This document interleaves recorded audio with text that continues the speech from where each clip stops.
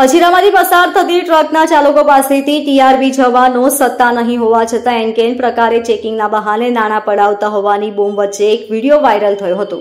લોકોએ વિડીયોગ્રાફી શરૂ કરતા જ એક ટીઆરબી જવાન ચહેરો સંતાડી મોપેડ ઉપર રફુ ચક્કર થઈ ગયો હતો.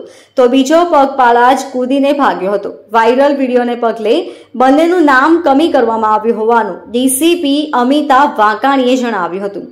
રવિવારે એક વીડિયો સોશિયલ મીડિયા ઉપર વાયરલ થયો હતો. હજીરામાં ટ્રકને રોકી બે ટીઆરબી જવાન તેના દસ્તાવેજોની ચકાસણી કરી રહેલા દેખાઈ રહ્યા હતા.